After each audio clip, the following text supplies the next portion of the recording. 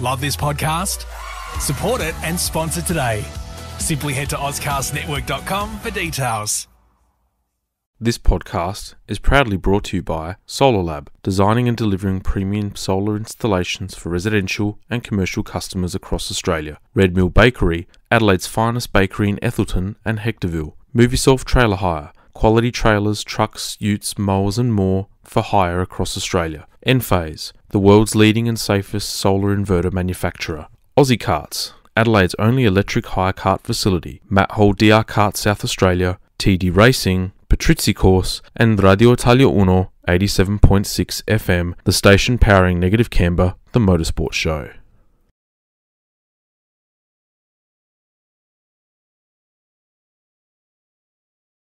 By being a racing driver means you are racing with other people. And if you no longer go for a gap that exists, you're no longer a racing driver. I race designed to win. It's time for Negative Camber. Down the inside, Hamilton sees it coming. It's a late lunge by Verstappen, who takes the lead of the race. If it's motorsport you want, then this is the place to be. All of the latest results, analysis, and interviews. And a great start Right now on Radio Italia Uno 87.6. And now it's time to introduce your hosts, Jamie Lemure and Leigh Harrison. Hello, everyone, and welcome to another episode of Negative Camber, the motorsport show, proudly supporting Scuderia Ferrari Club Adelaide. I'm your host, Jamie Lemura, and with me in Miami live is Mr. Leigh Harrison. How are you, my friend? Good, brother. How are you? Yeah, not too bad, man. Not too bad. How's uh, how's life in Miami? What's been happening? Fill us in. Oh, it's a bit of a crappy day today. It's um, blowing an absolute gale and massive, massive thunderstorms, but uh, managed to make it home without the rain. So that's that's been good. And other than that, it's uh, headed into. I think we're into spring now. So nice days, nice and humid and warm. But uh, yeah, that spring weather with lots of rain about the place. So when we're saying lots of rain, like are we talking, you know, current New South Wales levels of rain where you need a paddle boat to navigate through the streets, or what? It was nearly like that today. There was a fair bit um, dumping, but it's just over and done with super quick. So not really so much flooding, um, but yeah, loads and loads of, of heavy rain uh, for yeah, you know, probably an hour flat out, and then it just goes away. So um, yeah, luckily we've escaped any flooding or anything like that, and and no sort of cyclone hurricane uh, activity yet. Well, clearly you have avoided the rain. Your hair looks beautiful here on the screen, my friend, and uh, you know, all very well kept. Congratulations to you for it's still looking sharp. It hasn't grown an inch since we spoke a fortnight ago, so uh, oh, actually, it hasn't. Maybe it has. I don't know. Yeah, it would definitely. Maybe not. If it's not a full inch, it's going to be half an inch or so at least. you know, using the uh, imperial st- measurements that we've got going on over here, which has still been pretty hard to get used to. But um, Yeah. Yeah, the humidity does wonders for this hair. I keep catching a glimpse of it in the mirror, and it looks all nice and curly and whatnot. So yeah, I'm, I'm enjoying the humidity here. Yeah, so a beautiful curl just running down that forehead of yours, mate. It's good. I missed you. I really do, sincerely. It's um, you know, to look at you in a screen that's probably about the size of my right hand, which is not really big. it's um, is a bit awkward. But uh, I'm ticking off the, the fortnights as we go. Looking forward to having your backside back in the chair at the in sort of middle to the end of May. So, uh, mate, what uh, for our audience that may uh, may have missed last week's well last fortnight's show, um, you've uh, managed to secure a gig in, in Miami to help coordinate or run the the Formula One Grand Prix over there. Um, so just a, a brief recap, I guess, for uh, what you're doing there, and I guess what's been happening in the last fortnight, because I know you've had a bit going on with the FIA and stuff as well.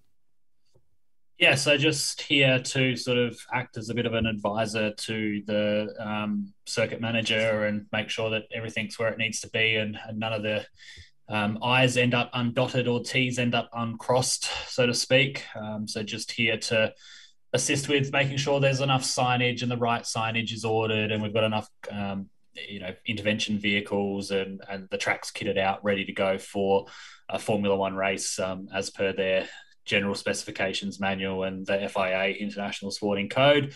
Um, yeah, flat out, it's been absolutely hectic. Barriers um, have started going in since we spoke a fortnight ago. Um, and that's moving at an absolutely phenomenal pace. I think we're pumping around at about 120 to 125 barriers a day, including. The Geobrugg fencing, um, which is absolutely phenomenal. Mm. Um, which leaves us a little bit ahead of schedule at the moment, which is awesome um, because the next couple of weeks are going to get really, really, well, three weeks actually are going to get really hard because we've on the same site got the um, Miami Miami Open International Tennis Tournament. Yep. Um, so yeah, that's that's all happening concurrently with our build. Race control should be finished by the end of the month. Um, pit garages should be finished by the end of the month, and then yeah, we get stuck in hanging up all our signage. We had the FIA come in. Um, the new race director, one of the new race directors, Niels Wittig, uh, visited us last weekend. Um, had a bit of a tour of the place, and, and we showed him around, and he seems really happy and um, impressed, I suppose, with the uh, the offering that we've got for Formula One and and for the event as a whole. Um, it's going to be pretty spectacular. You've had um, you've had the good fortune through the Scuderia Ferrari Club, where we um, in the past have had the opportunity to go through the Paddock Club at the Melbourne Grand Prix, and you've had a, a good chance to have a look at the facilities over there. Um, for the sake of, of listeners, how how are we comparing facilities in Miami now versus say in Melbourne? Is it comparable or light years ahead?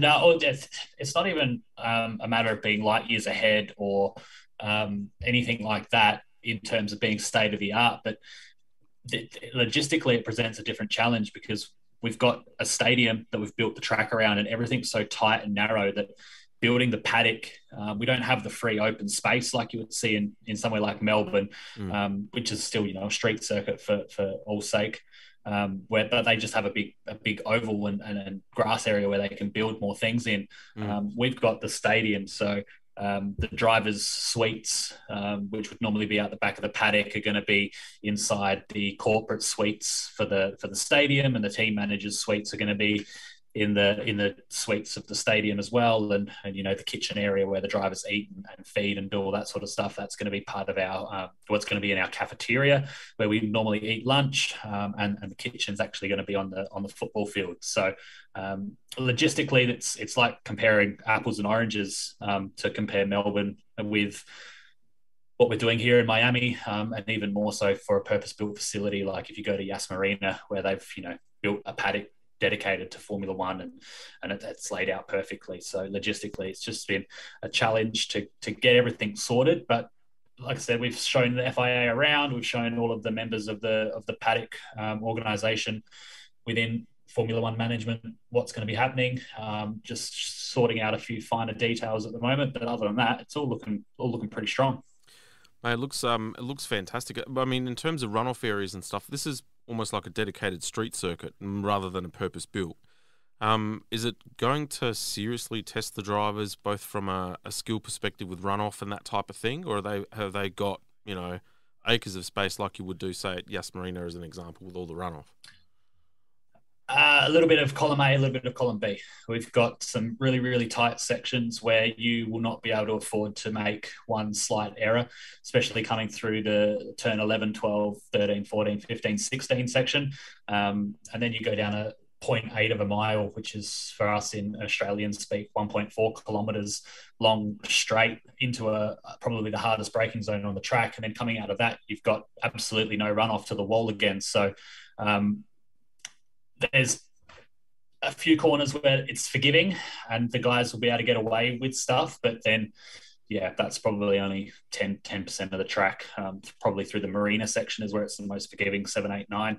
Um, they have a bit of bit of leeway, but other than that, they're going to be uh, pushed to the limit and test every single ounce of their driving skill for sure.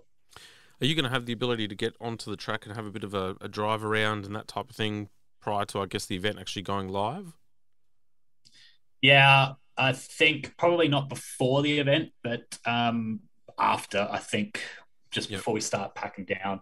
Um, besides being in a golf buggy and, and going out for inspections and stuff, um, there's a whole bunch of stuff planned for the Wednesday, Thursday before the event starts, and some mm-hmm. some special guests coming to drive laps of the track and Um, the first lap is going to be done by the, the guy that's put up all the money, um, the Miami Dolphins owner. Yep. So he's going to get the honor of, of having the first lap of the track. So, yeah, there's lots of cool stuff planned. I'll get, I'll get a lap in there somewhere um, at a better pace than a golf buggy. But uh, yeah, I've done a lap on a simulator, so she's she's pretty fun. Oh, cool, cool. I'll have to send you some money over in, in US dollars so that way you can uh, get some some souvenirs for me, mate. I'm uh, starting to formulate a little bit of a checklist now. So, you know, because you know you like to help your little buddy down here in Adelaide. Yeah, get your list. Get your list over to me. I'll get some merch for you. That's no problem at all. Oh, I love you. Um, speaking of love, um, there's been some stuff happening here in Adelaide. Just in case you wanted to know, um, and it's well, uh, welcomed a new nephew into the world. So uh, that was pretty cool. That happened this week. Um, that was pretty yeah, exciting. Congratulations to your brother Mark. Yes, um, little Andre Christian. He came into the world earlier this week. So um, yeah, haven't had a chance to see him yet, mainly because of uh, all the wonderful things called COVID that get in the way. Bianca's.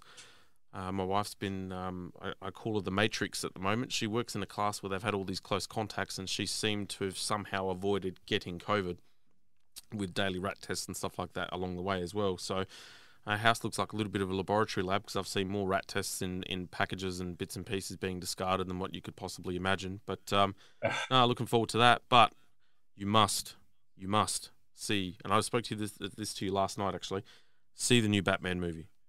You have to see the new well, Batman. Yeah, look, like we said, it's probably going to be on the plane ride home. To be honest, uh, we've, we've spoken I'm going to be seven days a week from now until after the race, which is unfortunate. So time to go to the cinema and see a feature length movie is going to be minimal, unless somehow, some way, some why they put it on um, the purchases channel in the hotel here. But I'm not going to hold my breath for it. But yeah. I'm looking forward to seeing it. You speak very, very highly of it, so much so you're even going to see it again. Yes, yes. So after the show, I'm actually going to go and see it. So um, it'll be the second time in about three days. it's um, I loved it that much, but oh, it's absolutely brilliant. Um, for those that know me well enough, I'm a massive Batman fan. I uh, I keep that hidden away, and uh, um, but uh, for me, by far and away, the best movie I've seen. Full stop. So for me to say that, and I've seen a few, um, that's how much I rate it. Uh, but uh, for those that are listening to the show, if you haven't gone and seen it yet, do yourself a favor, give yourself three, three and a half hours of time, sit down, watch it on extreme screen or something of that nature, and enjoy what is arguably probably the best superhero ever made. Bang, just said it. Drop the mic, I'm out. So it's um, um speaking of dropping, I'm going to drop uh, some uh, promotion here for the Scuderia Ferrari Club of Adelaide. So uh, we are, I wear two hats. Obviously, I've got my presidential hat on now. Um, so the Scuderia Ferrari Club Adelaide is the official supporters club of the Ferrari Formula One team, and if testing is any way to go, we're in for a cracking year. So, uh, this is basically a, a membership uh, or a supporters club, which is catered to obviously have a direct link with the Ferrari Formula One team, but we've diversified ourselves and we've become more of a generalist motorsport club in terms of the activities we do. So.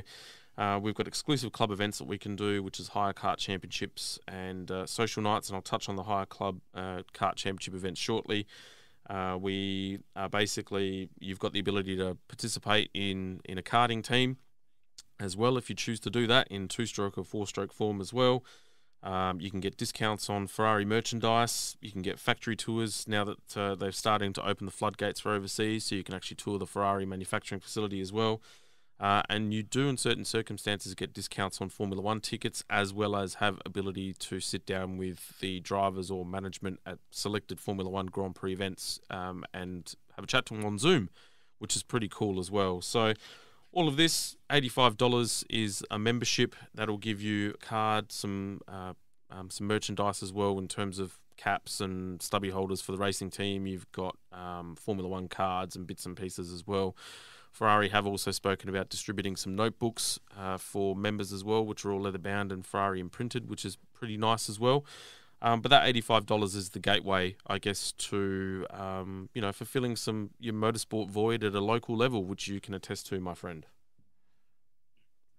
Yes, absolutely. Love the club, love being a part of it, and it's definitely bang for buck. And the best part is the high kart championship. Um, jumping on board with like-minded people and, and having a bit of a blast around the local hire kart tracks. Absolutely, absolutely love it.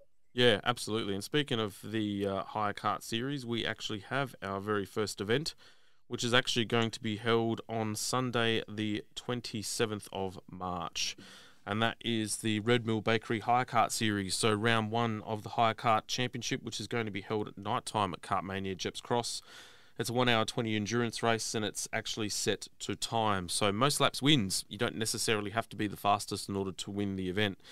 It can be a mixed team, it can be an all female team. Uh, you do not need to be experienced in order to race this, and you don't necessarily have to be a member, even though I'd love you to be, but you don't have to be a member in order to race. So it's all about having fun, um, swapping drivers every 10 minutes, um, and enjoying the, uh, the newly revamped and expanded uh, Kartmania Gepps Cross facility with the, uh, the now famed banking. Uh, $150 to see you race, and the uh, the tickets or your pass can actually be purchased on www.sfcadelaide.com and visit the online store and you can actually select the ticket there and we're actually starting to get some numbers now which is filling up the grid which is fantastic to see but um, I don't think your mum's actually found a driver yet even though I, we are encouraging her to get uh, the famed biscuits the man the myth the legend to actually be on the uh, in on the grid what are the odds of that happening? It was his idea. He, he, he it was his idea. He told me to, to get her in so that she can try and defend her title with him, and uh, then at least when I um, come back, you know, she's got some points on the board. So it was his idea. So I think you got a pretty strong chance. Just got to get the pair to talk to each other, and, and they'll sort it out. Yes, so get on to that, folks. Um, so yeah, again, $150 for uh, to participate in the race. www.sfcadelaide.com and visit the online store for that. We're going to be. Negative Camber with Jamie and Leigh on Radio Italia Uno 87.6 FM. Welcome back to Negative Camber, the motorsport show, proudly supporting Scuderia Ferrari Club Adelaide. We now enter our topic of karting. And now, look, I tried really hard and I've promised myself that I wanted to be very nice and orderly and clean but I can't help myself anymore, mate. I can't. I can't help myself anymore. Pardon me. There's been some stuff going on in the local karting scene of late, which has been quite concerning. Let's just say. Um, and you've been away for a, a lot of this, and I only gave you a brief snapshot. But what I wanted to do is I wanted to set the scene, and it involves the four-stroke class as a whole. It involves the event organisers, let's call them that, for the city of Adelaide, and then it also uh, concerns the state karting body as well. So I'll set the scene for you. Um, the City of Adelaide titles are coming up. It's considered to be one of the premier trophies to win in local karting in South Australia. Uh, and the directive from Karting Australia this year was that they wanted to, um, I guess, um, bring the event back to the level of prestige that it was knowing that it was going to be a warm up event for the AKC. However, the directive from Karting Australia was that they wanted they had to have four stroke in the race format purely because of the fact that there would be too big a gap for the four stroke class between events with the way the fixture worked out with the AKC event and that sort of thing as well. All right. Now, I had the good fortune of actually being in the planning meeting for that event, right? And so I was it was a great way to see how it was all planned out. So what the um, what it was, uh, the event organisers acknowledged the fact that the four-stroke class had to be run, but they were only going to give them one slot, all right, between all of the classes. So they had 32 spots available, first come, first serve. They'll run all the classes in the one time, uh, one slot, but they would split the grid up. So you'd have your supermaxes and your light class together, and you'd have your mediums and heavies together and then let the timing system sort out who finishes where. Great, awesome. Previous to that, um, in the last 12 months, the four stroke community, and I'll include all of us, we, we, uh, were, I suppose, disgruntled at the fact that it was the only class that wasn't considered to be on the City of Adelaide bill. Okay, because last year it wasn't a warm up event for the AKC because of it fell on Easter and all that sort of stuff, right? even though they had all the classes there, right? So um, the opportunity had come up and they only had 10 entrants enter the event. Okay. So all of a sudden, the first class that got cut was the four stroke class, right? Reason being told, they didn't have enough entrants on there, even though we were only going to be on the track for the one time. Okay, even though that uh, you know it wasn't like it was going to be multiple classes that would extend the day, but what they decided to do was chop it off um, because they um, felt that there weren't enough participants that were going to be racing in it, and therefore all of a sudden it allowed the two-stroke races to not only have track conditions that were going to be equal to the AKC but then also it meant that they could get more time into the event. Um, it annoys me because I dedicated my time to do the race. Right, it annoyed others because the four, those that entered in the four-stroke class put their money, which we got back, and that's fine. Right, but what it tells me is is that you can't offer an event, you can't take something and then pull it away without entries being closed and then accepting it for it is what it is. But then I also take aim at the four stroke class and say, guys, we as a category, we failed. Right? We failed because we had an opportunity, right, to get some numbers on there and actually represent the class on a bill where we had the, a, a window of opportunity to take the most of it and say, okay, we got what we wanted we wanted to be on the City of Adelaide, right? We had the opportunity to get some numbers on the field, and guess what? We didn't do it, right? Now, I know for a fact, and I've had multiple sources tell me this, that there's been some some innuendo, let's say, and some um, you know some reasons that were not genuine as to why they didn't want to participate in the event, right? So when I say not genuine, there were drivers that didn't race because of work. There were drivers that didn't race because of affordability, and that's fair enough. Okay. However, the initial entry fee was only ten dollars more than the entry for a Festival State Cup round. Okay. So, and you get an extra day's worth of practice. Right. So you get three days instead of two. All right. So for me, uh, extra ten dollars, an extra day's worth of track uh, training, uh, it's pretty cool. Okay. However, some can't afford it. I get that. Others didn't have an engine on their go kart. The go kart was in a million bits and pieces. They didn't have time to prepare for it. Blah blah blah. I get all that, but there was definitely a portion that chose not to participate, right? And so therefore, what it does do is it adds further fuel and innuendo, right, about the perception of the class as a whole. And there's been too many people for too long that have put their reputations on the line and have copped a lot of grief, right, because you've got this anti two stroke sentiment uh, like this two stroke sentiment, which is anti four stroke, right? Because of what the type of engine is and the fact it's their speed and this and that, the other. Who cares? But when we do this as a group, being the four stroke class, we don't help ourselves either, right? And so, guess what? no one won, right? The event organizers uh, cut, let's say, $1,000 worth of entrance out, right? They could have had more people there that would have contributed to the club financially, this, that, the other. They've now set a precedent which is going to have a ripple effect about how the entrants are going to treat events catered for by the organisers moving forward because let's face it, people will hold a grudge.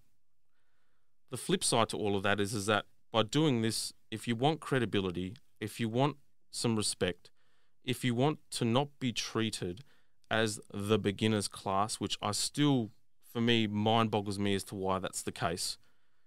Then you have to change how you go about things. You have to change about how you present yourselves. You have to change about how you go about things because the only way that people will change your thought process and all of this is the perception that we've actually got our act together.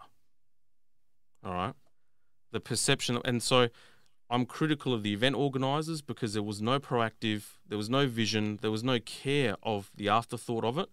They catered to individuals that had a little bit of a, a whinge and a moan about track time and also rubbered up conditions. Because guess what? In my opinion, the track conditions in the event in a month's time for the AKC are going to be different to what's going to be now.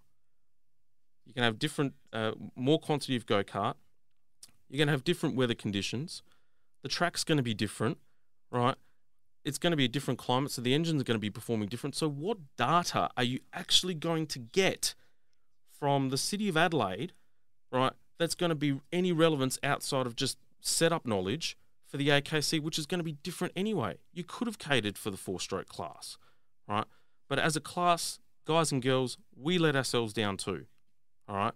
And this stuff, this innuendo and this axe to grind against event organizations and the class, guys, stop. Just stop. Right. And take a look at it from outside of your own selves because everyone's got a reason as to why they can't can and can't race. Right. Think of the class. Think of how you know, think of how hard because I saw it up close right at the start, right? But at the same token, I still want to race events too. I don't want to be the one having to make sacrifices and miss out, right? Not because of genuine insufficient people not wanting to race. They had choices and they could have raced, but they chose not to, right? It has to stop, right? Has to stop. So, you know, for me, I think the event management um, and the heads of the four stroke community, whoever they may be, need to sit down and they have to sort this out because it's going to have connotations for the Festival State Cup round later in the year. It's going to have connotations for the four stroke championship later in this year because the, the event organisers for this race have got those later in the pipeline. What about the club meets? Right? You have to sort it out, right? Because no one wins in this case. No one. And if you think that you do, because everyone talks among themselves but they're not prepared to voice their opinion out loud, I'll put my anatomy on the line for this. And I'll probably make more enemies than friends. But that's okay. If someone's not prepared to speak up about it, well, then guess what? Nothing gets resolved. If there's no awareness raised and we put it in a public forum, guess what? Nothing gets resolved. Thoughts? Well done. Well said. Yeah. I think you got it's on it's on both parties. Organisers are going to be clear with what classes are going to be offered when they're getting offered, and uh, then it's up to the drivers to you know they prioritise their their events. So I can see it from the driver's perspective. Priorities, you know, there's a lot of travelling involved in Festival State Cup as well, and next round in May is in Whyalla, so most people are going to commute, and that's another you know expense um, expense on the on the charge as well. So yeah, it is it is like it's hard to hard to take in everyone's going to lose in this situation. Four stroke lose because they don't, you know, get to be shown on the big stage. Um, and and and the organisers lose as well because they they get they're missing out on entries. So not a not a pretty sight for anybody. Um, no. I can understand a little bit the uh, the setup side from all the participants coming for for AKC um, that are coming to do some testing. The rubber for the four strokes is not necessarily what's used on any other go karts. So if you go out on the track on top of that rubber, it's going to be a you know the setup work that you do racing on top of the rubber that the four stroke guys have just lifted or put down.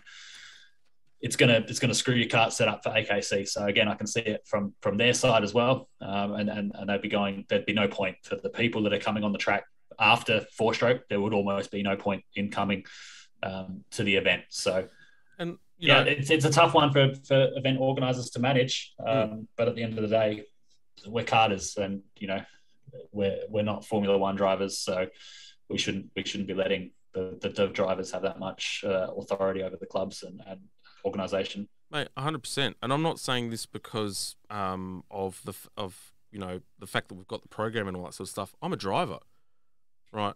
I paid money for the event. You know, I wanted to have three days in the seat you know, because I don't get opportunities like that often because of my current lifestyle. And I, I now miss out on that. And I'm not just speaking about me. There's 10 other people that had the opportunity that had that opportunity taken away from them. And they can't make the transition to plonk a two stroke motor on there or grab a two stroke, right? Because that was actually the overriding remark. Oh, well, they can get a two stroke then. Uh, no. Sorry.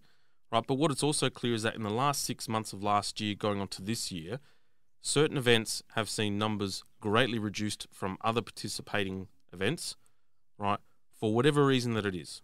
And there might be multiple, right? But for God's sake, clear it up, right? And stop because you can all internalize it in all your internal chat groups and this, that, the other, right? And club meetings and all that sort of stuff. But nothing gets resolved until it's out in the open and you can find a resolution for it. Because I'll tell you why. There's a flow on effect to all this and this is in relation to Karting SA. All right.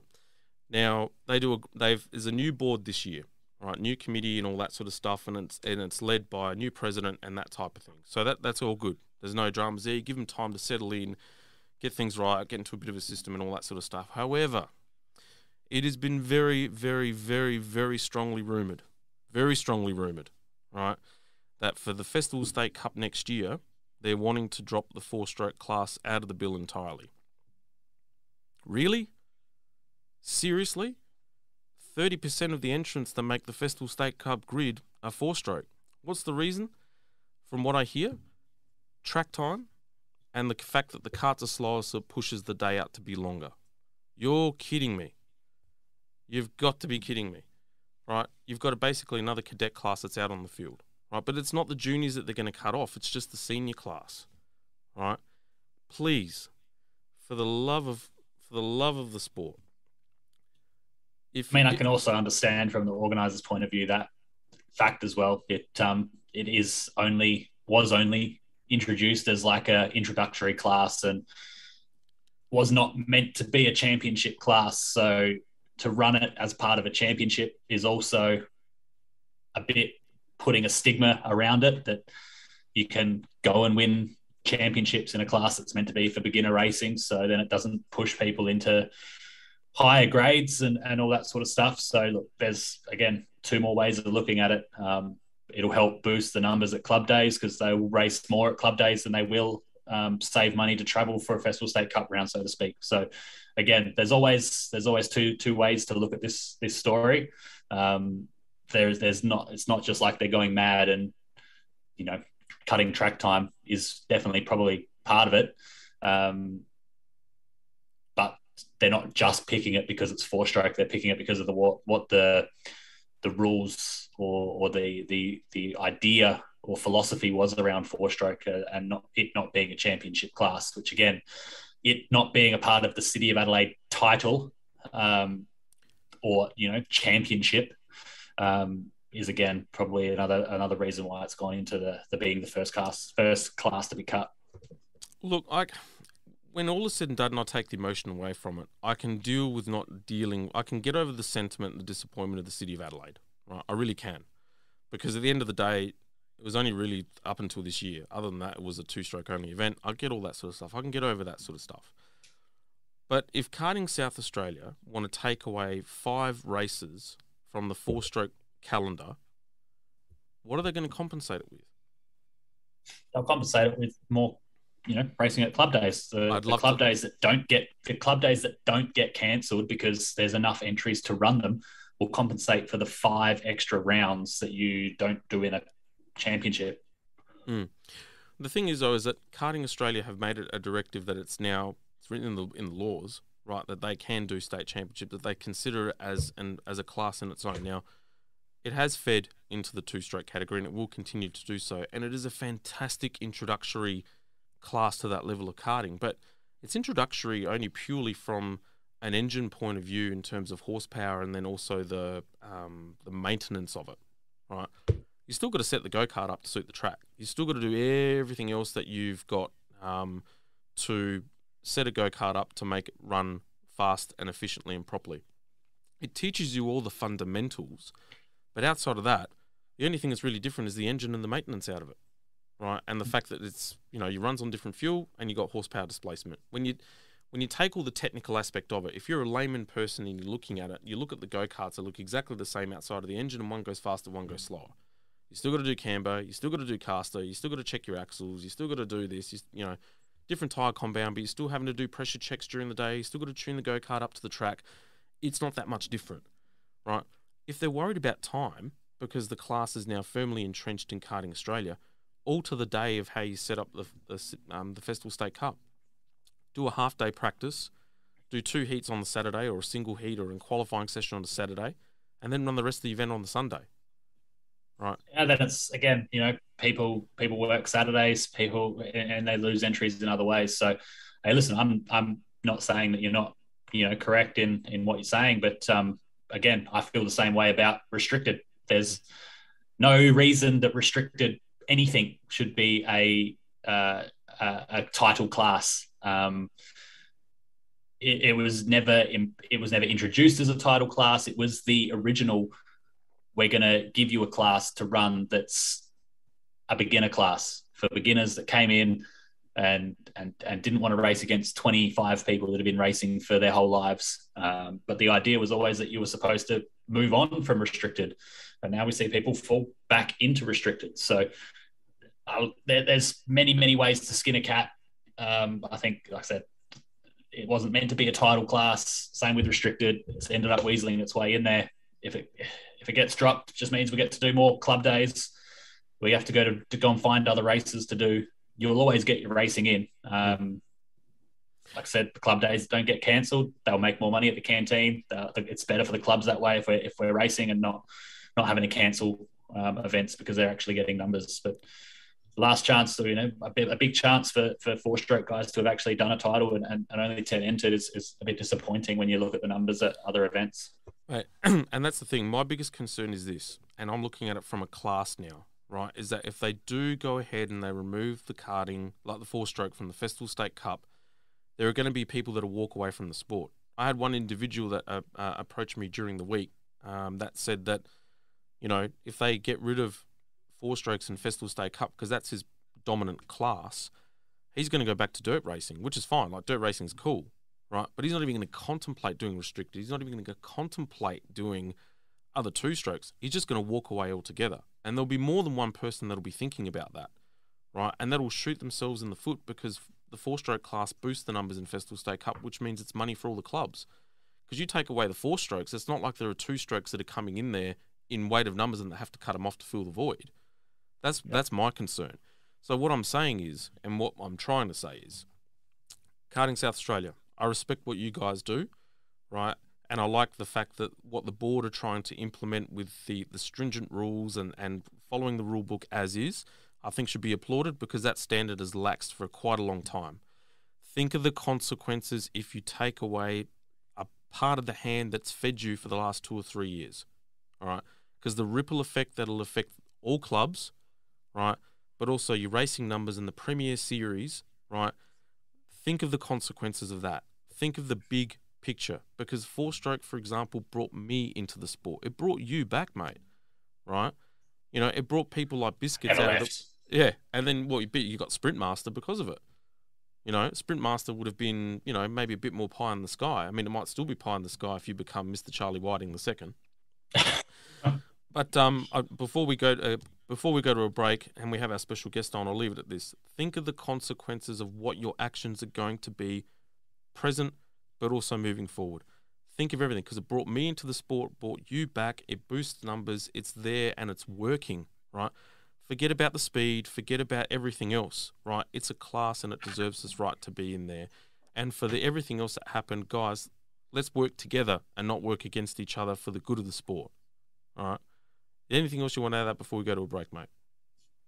Nah, you've said it all, uh, all, mate. So, and I've uh, offered my thoughts on the situation. So, hey, look, at the end of the day, it'd be great if everyone entered everything. Go back to the days where you know we had loads of, or not loads of, I suppose, but um, enough dis- disposable income that we could enter every club day, and we were racing in fields of thirty or, or so every weekend. But um, unfortunately, it's not just the world we live in anymore. So, priorities get your entries in, get them in early. None of, no more of this. Uh, oh, I'll see what happens in a week's time. I'll see what the weather is. Just just get get it get it done. Get it sorted.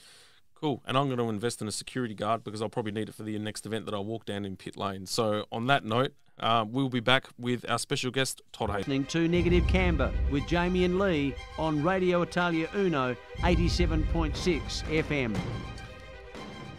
Welcome back to Negative Camber, the motorsport show, proudly supporting Scuderia Ferrari Club Adelaide. We hope you're enjoying the show so far. And now we extend ourselves to Queensland, where we've got, uh, well, the MVP of the uh, the Negative Camber team, and that's Mr. Todd Hazelwood, the most crowned guest on the show, and probably now a good mate. How are you, Todd? I'm very good, Jamie. Great to be back on the show, and uh, look forward to having a quick little chat. Mate, it's uh, it's a pleasure to have you on. Um, I, we're we're sort of covering all of us. Uh, we're going global now. We've got Leigh in Miami, um, and he's uh, he's doing this thing for uh, for the Formula One organisation there. And now you're in Queensland too, and I'm and I'm in Adelaide. So all we need is Europe, and we've pretty much covered everything. Yeah, that's it. Well, there's nothing wrong with Adelaide. That's uh, that's the key thing. We're all Adelaideans at heart. yeah, absolutely, mate. How you uh, how you feeling after after the opening round of the series? Have you pulled up uh, and have you dried up?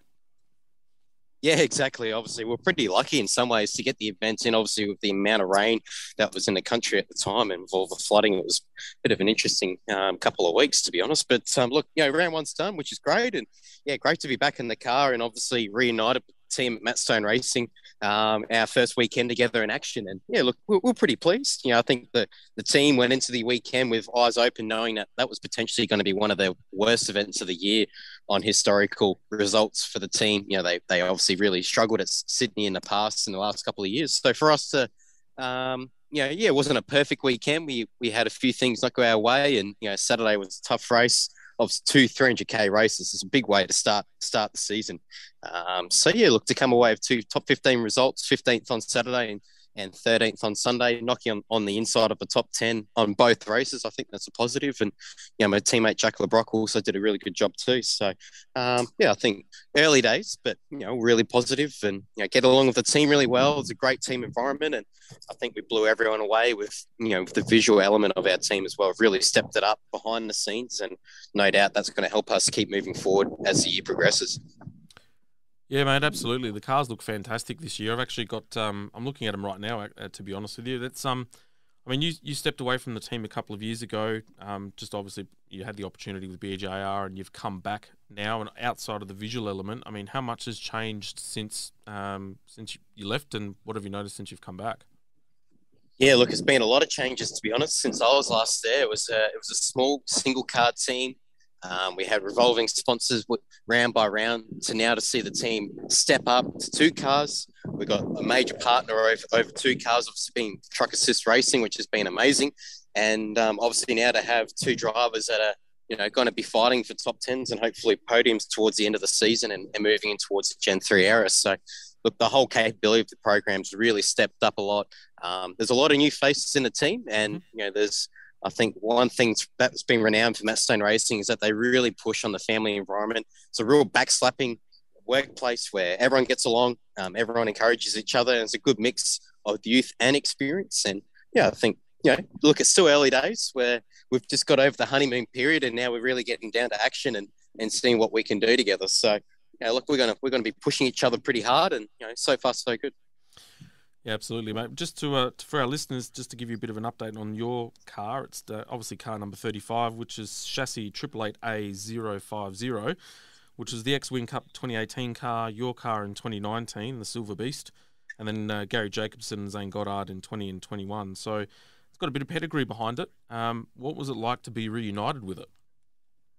Yeah, it was somewhat strange when I first did my seat insert um, back back in the workshop towards the end of last year. I sort of rubbed it on the dash and said, "Remember me," and hope she's kind to me once again and doesn't get too angry at me that I've left the last couple of years. So no, it's um, no, it's been good. Um, you know, obviously the Triple Eight car, um, I had some pretty good success with it back in 2019, and we're only really just getting started. Uh, it's a very different driving style to the BJR car that I'm, you know, sort of got used to over the last couple of seasons and know off the back of my head. So sort of retraining the mind a little bit and, and trying to get back in sync with how the car makes a speed and, and driving style with that. Um, so still, you know, to be honest, still trying to get my head around it. The, the car has changed a little bit in setup philosophy since I last raced it back in 2019 as well. So a few new, updates, few changes in the sport, obviously with the control shock, with the super shock that come in. Um, so there's a few little things there that I'm still trying to get my head around and you know that that that will take its time because you know obviously at Sydney we had mixed mixed uh, weather, so you never really get the opportunity to really hone in on some of the key changes that you know obviously changed the handling of the car and so forth. So still still a little bit green, um, but you know we're we're so far so good. Yeah. With um, you've uh, reunited with um, well reunited or you've teamed up with Chris Stuckey as your engineer this year. Um, probably a bit of a silly question, but had you actually worked with Chris prior, or is this a new relationship? And, and how have you found that so far um, going back into MSR? Yeah, Chris has been awesome. Um, yeah, I've never worked with Chris before. Um, didn't know him from Bar State. I think we probably said hello a handful of times, and that's it before we, uh, yeah, we joined partnership into this year. So, um, yeah, Chris has got a lot of experience and um, is very methodical. Goes about his changes in a, in a similar way that I like to go about things as well. So, I think we've both got a similar approach, which is a big, big thing. Um, you know, we're still trying to understand each other's language um, and you know understand what we want from the I suppose what we want from each other, um, which is a which is a big thing to obviously get the most out of each other. So yeah, look, still early days. Um, you know, I'm, I'm pushing him to as hard as I can, and, and I'm, I'm trying to get him to push me as well. Um, to be, you know, I, I, don't like being patted on the back saying good job. I want I want to be told where I need to improve and and get the most out of me. So you know, I like to be my own self biggest critic. But if there's someone else with another set of eyes seeing if there if if there's something that I can do better, I want to know it. So um, yeah, trying to get him to be hard on me as hard as I can, and you know that'll hopefully you know push us all forward um, into the future. Absolutely. Back to what you were saying before between the way the BJR car and the Triple Eight car make their speed in different ways. Can you elaborate on that a little bit more and in what sort of feeling is different between the two cars without obviously giving giving too much away to, to help one team over the other? Yeah, exactly. Um, if I said too much, I'd be getting in trouble and I'd be probably harming myself. But um, obviously, the biggest difference in the cars is all in the front end geometry. Um, so the biggest area of freedom that the teams have is in the front upright, as we call it, as a front hub. Um, so there's a lot of design differences in, in the in the two cars there. Um, so it's really the feeling of the car as it gets to the corner. Um, that's probably the biggest difference. And you know, as, as you get closer and closer to the apex, what you do with the brake pedal heavily dictates the performance of the car. Um, so that's probably the two main differences there that we're, as a driver, that we're trying um, trying to manage. So um, yeah, it's a it's a very tricky thing to probably explain without being too too detailed and giving any secrets away. But um, yeah, that's that's probably the big the biggest thing is how how the car gets to the apex and then obviously what you do with the brake pedal will dictate how you get off it. So um, yeah, there's probably the two main things there. And can you take any of the learnings from the BJR car and now come back to Matt Stone and and and help them in any way, shape, or form with with anything in that design principles um, aspect? Look, to be honest, it's probably the the gen the the um the, sorry, not when I say Gen three, the, the car of the future chassis. They're so far developed now where it's almost um, it's almost too too tricky and such a long process um, to implement one design versus another because the cars are so advanced now with each other's setups that it almost takes too long to implement a new idea over a course. It could it could hurt your championship for one or two rounds. And I think now because everyone's maximized their their setups over, over this time, uh, it's pretty hard to actually find a new advantage, if, if that makes sense. So, um, yeah, look, I'm just trying to go with eyes open into into this year.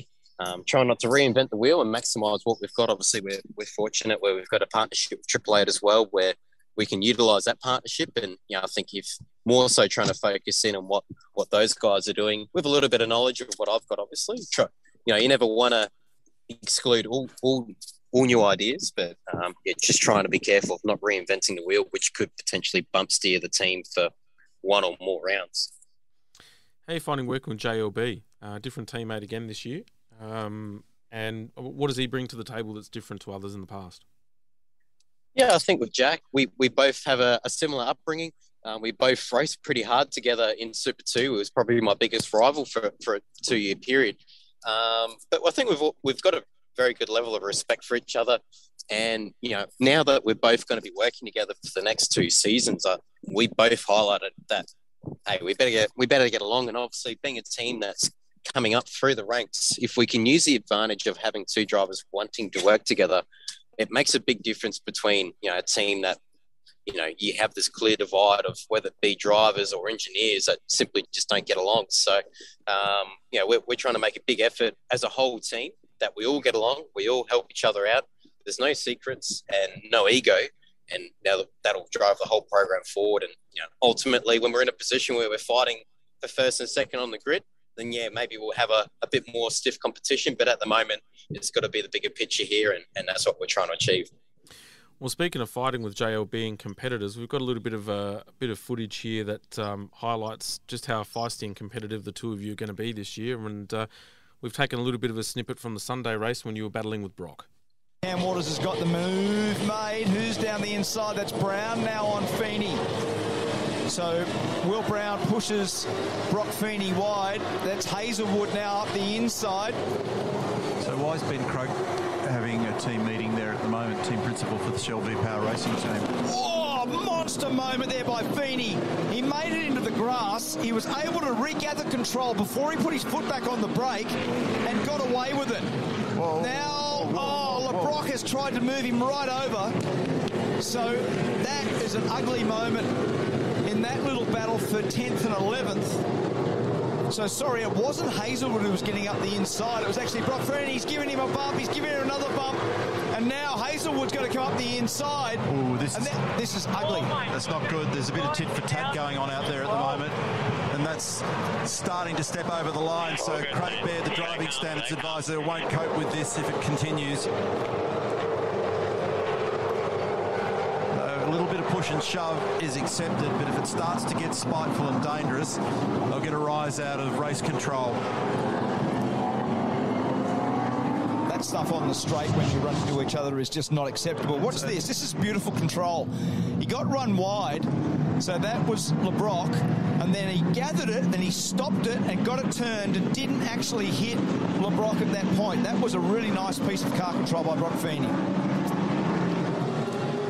And then all this went on at the other end of the track at, up at 11. So it's giving him a tap, but Broc cleared the throttle and got out of it. But then it all started to happen back down the straight again. And when he's moved him back across the road, that's the stuff that raises eyebrows. So when Le Brocq retaliated here in a straight line with some overlap, then you're starting to cross into the Never Never. Remember, these are two customer cars from Triple Eight Race Engineering. So Matt Stone Racing, both those truck assist cars are actually originally built by Triple Eight. Approved suit for a raincoat if I were you. Car 34, driving infringement. Sportsmanship flag being shown for Jack Le Brocq. As I suggested before, I think when he decided to throw a punch in a straight line, that was just one step too far. Mate, you had the best seats in the house for that. That was extreme screen viewing for you. Um, I bet that would have been interesting, uh, sort of being the, the trailing car out of the two of them, ha- battling it out up front. It's a good way of putting it, isn't it? It sounds pretty action packed. I haven't seen that commentary yet, so um, yeah. Look, it's probably it probably sounds just as exciting as it was to me watching that, to be honest. But um, look, it was a bit of a tit for tat going on during that lap, and you know, Jack, you know, Jack was getting the pass done on Broc, and then there was a bit of fair bit of aggression going back and forth. And I was just thinking, well, these guys keep this up, then I might just pick up the pieces here. But um, yeah, look, it, it was a pretty crazy first round. There was a lot of pretty pretty high level of aggression going on across the whole field. Um, you know, certainly was on the receiving end. A lot of that both Saturday and Sunday, to be honest. Like we probably didn't have the best best one lap speed in the dry um, in our car. We were pretty competitive in the uh, unpredictable wet conditions, but yeah, we're in the dry. We weren't as strong. Man, up my rear bar was just getting torn up over both races. So um, yeah, there was a lot of a lot of that going on. I think you know when we saw that swerving down the straight line of Jack, I think that probably just shows you how frustrated everyone was getting because they're going like, man, like give this up. Like if you're going to hit me, I'll run you off the track basically. So um, I think that was a mindset for a lot of people over the weekend, just quietly. Wow. So, and, and is that mainly just because you got uh, round one jitters? No one had raced for about three, a couple of months, or uh, was it just a, you know, or was it just a different mindset, or, or like a something hacking, hanging over the pit lane over the weekend, like a dark cloud?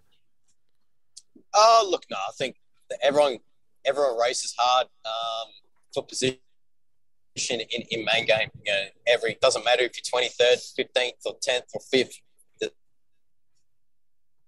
The, level of aggression almost gets worse as you get back in the pack because everyone's frustrated. They're not they're not where they want to. They know where they should be, um, and that, that intensity goes up. So yeah, it's always good to see that you know the commentary focuses in on those mid pack battles because you know sometimes when you're in the top five, you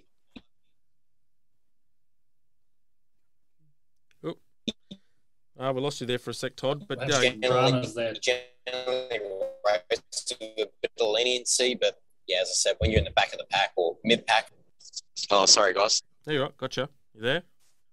Yeah, yeah, sorry. That's all Sorry. right.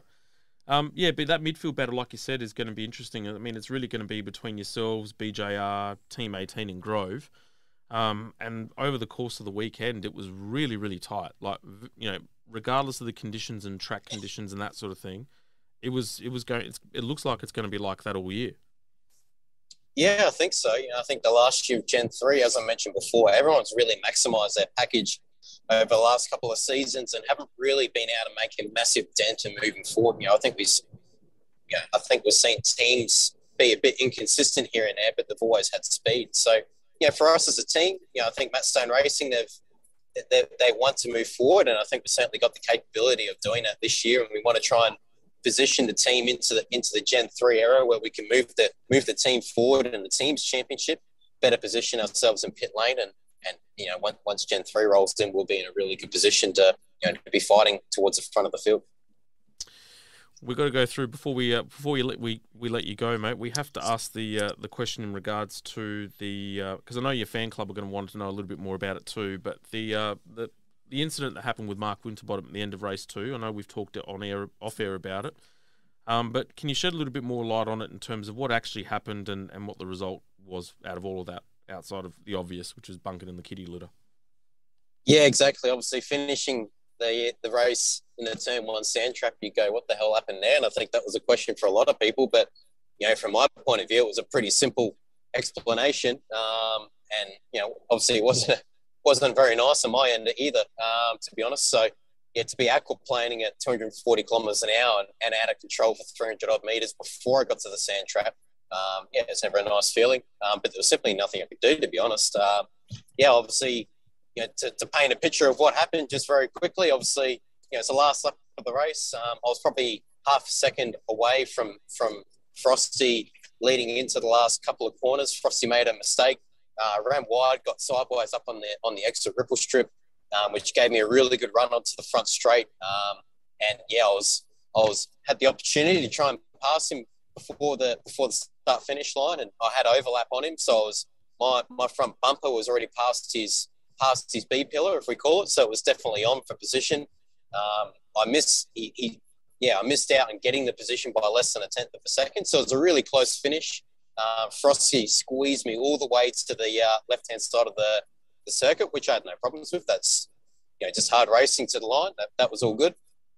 And um, but obviously, in, in, in with, with, all the weather that come down in the last 10, 10 laps of the race, there was a lot of water, a lot of standing water on the left hand left hand side of the circuit, and yeah, the car simply just hit the river that was running alongside pit wall there, and uh, the car broke away from me pretty much as I lifted off the throttle as I across the start finish line, and the car just yeah took off into an aquaplane, and I obviously was on the brake the whole way um, as I as I entered into the into into the turn one braking zone. But you know by then I hadn't still hadn't washed off enough speed, and the car was completely out of my hands, and had the thing locked up for as I said 300 meters, then tagged Frosty, and we both ended off into the sand trap. So you know, from my end, it was a, a pretty self-explanatory um, situation from my end of the my end of the, the spectrum. But obviously, Frosty was, which rightly so, was pretty frustrated as to what had happened, but simply wasn't in my situ- my seat of the pants to understand what had just happened. So obviously went down to explain what happened, and I didn't get much out of Frosty. But the end of the day, it's happened now. I can't take it back. I've obviously apologised to the team and to Frosty and to everyone else, but yeah, it's one of those things. These things happen. That's what happens when you when you're fighting for position, and um, it's not going to be the last time it happens. I'm sure too. We always see, uh, you know, in NASCAR we see cars on their roof crossing the start finish line on fire sometimes. So it certainly could be a lot worse. But um, obviously, yeah, don't want these things to happen all the time. But it's just one of those things when you're racing and racing hard, these things can happen. Yeah, exactly right, mate. And look, at the end of the day, you're, um, you know, you, you we know you well enough, uh, both off the track and on the track, to know that you know you're you're you're class. You know, you race fairly, you race you race hard, but you know the intentions there is not to have a projectile and fire another competitor off, especially with someone that you've known for a while like Frosty as well. And I mean, as I said, yeah, you, exactly. Yeah, yeah, you know, and at the end of the day, it swings and roundabouts. You know, the that team's been embroiled in first corner issues in other rounds before, where you've actually been on the receiving end on it in a far far worse situation. So, you know, at the end of the day, it's motorsport. It happens. It's not like you do it intentionally. You're not out there to, to ruin anyone's chances because your car will be damaged just as much as his. So, yeah, I think uh, we put it to bed now and they can move on with it. Yeah, exactly. Look, I'm not going to lose any sleep over it. So, yeah, there's a few articles and stuff that went up during the week, which yeah, they were still harping on on the on the on the incident. But you know, from my end, I'm you know, just you, you close the book, you move on. That's racing. You know, we, we're out there to doesn't matter if it's you know some people go I can't believe you'd race so hard for, for 12th position well it's still another spot if you if you race hard for every position over the year you know if you make another five or six positions over the course of the season by racing hard then that that paints a very different picture in the championship towards the end of the year so Mm. Um, yeah, I'm not going to change my attitude. I'm not going to change the way I race. It's just yeah, one of those things. And in those conditions, anything can happen. I think you know a lot of people forget that. You know, some when people get on the motorway and they're driving at 100k an hour and it starts raining, people slow down to 60k an hour. You know, we're racing at over 200 kilometers an hour in those conditions. So um, yeah, to paint a picture, it's not the easiest thing to do. Um, doesn't mean that you know we're all we're all not infallible. Things can happen, and yeah, that was a prime example of it. yeah, exactly, mate. No, love your work, mate, and keep being tenacious and keep busting your backside because that's where it's gotten you to the point that you're at at the moment. So um, we know who you are and what you're all about, um, and let the results dictate themselves. That's uh, that would be my philosophy. Thanks, mate. Cheers. No worries. We'll leave you to it, Todd. Enjoy, and we'll we'll, uh, we'll catch up probably a, little, a, few more times over the course of the season, and hopefully at Tailem Bend later in the year. Uh, that all sounds great. Thanks for having me on the show, guys. Always good to catch up. And uh, Leigh, all the best uh, over in the US. Go kick some ass. Thanks, mate. I'm uh, loving my time over here, and uh, we'll catch up and talk about it all when we when we see each other again. So keep going, mate. I'm, I'm watching from afar, but uh, definitely you're not out of my mind. So uh, keep keep slaying it out there and doing your best, and and say hello to the family and, and your lovely partner for us both. Will do. No worries. Thanks, guys. Appreciate it. See you, mate. That was Todd Hazelwood, ladies and gentlemen, with a recap of the V8 Supercars round one at SMP. We'll be back after a break just to continue a little bit more about the coverage of that and then also into MotoGP. You're listening to Negative Camber with Jamie and Leigh on Radio Italia Uno 87.6 FM. Welcome back to Negative Camber, the motorsport show, proudly supporting Scuderia Ferrari Club Adelaide from the studios of Radio Italia Uno. Special shout out to Ron and the team at Podcast City for also assisting with this uh, setup as well, given the uh, the coordination that we have to have with Leigh over in Miami as well. So, mate, credit to you, fantastic job. Uh, for those that really want to start podcasts and and uh, learn about the art of it, there's no better than Ron and Karen from Podcast City. So uh, hit them up, look them up on the internet and on Facebook, and they will be able to guide you, train you, and help you record, edit, and host your podcast in their professional studios on in Eastwood as well. So, V8 Supercar results from the Sydney Motorsport Park Round One. Race one on the Saturday night, which is the first night race. Armour All pole position was Anton De Pasquale. Uh, position one was SVG so Shane Van Gisbergen, position two was Anton De Pasquale, three Chaz Mostert, four Will Davison, fifth Brodie Kostecki, six Nick Percat, seven Will Brown, eighth Tim Slade, ninth Broc Feeney, and ten James Courtney. TH, or Todd Hazelwood, as we like to know him professionally, was 15th. And then in race two, which was the mixed condition race held on the Sunday afternoon, Armour pole position. Brodie Kostecki got his first pole in the wet followed by Chaz Mostert being the winner. Brodie actually finished second for the race. Anton De Pasquale finished third. Cam Waters fourth. Andre Heimgartner fifth. Uh, sixth was Shane Van Gisbergen, who started 21st from that race. Will Davison was seventh. Will Brown eighth. David Reynolds ninth. Tim Slade 10th. And TH finished in 13th position. So a bit to take away from that. Clearly, um, Todd got his elbows in and uh, was not afraid to rub some paint. But um, Erebus, a lot of the teams I found carried over a bulk of that form from last year's events in SMP. But um, Chaz and Walkinshaw Andretti United have clearly got some momentum build up from uh, from Bathurst. So whatever they've done in terms of setup has clearly translated now to a completely different track, whereas it hadn't before. Yeah, they're probably the real suppliers of the weekend where they struggled um, a lot in 2021 uh, for the few races that they did have at Eastern Creek, but they've come out swinging and and Percat, you know, as well as Chaz, they both had some really good results. So um, looks like they've got their act together. They do always come out swinging first round of the championship as well, though. So that's you know good to see them uh, back to their back to their good ways and you know the first first round of the, the championship really went as predicted with SVG looking super sharp and those four big teams like you mentioned um, you know carrying off from from where they left off late last year yeah, Tickford really struggled in the opening race. They were sort of they qualified towards the back of the uh, back of the grid and didn't really figure a great deal in the first race. Um, and then the weather, the wet weather conditions, and a bit of strategy brought them back up to the forefront. And Cam ended up quali- uh, finishing fourth overall, which Ironically, for their championship, he walked away from round one 80, only 87 points off top spot, which was actually closer than what he did and what he left the Bathurst 500 from the beginning of the year last year. So um, the thing I like about this this year's series is that they're actually going to have a proper series. So they're going to be in, in a variety of different tracks and a variety of different formats this year. There's not going to be you know any pandemic touchwood that we're aware of that's going to cause any any grief.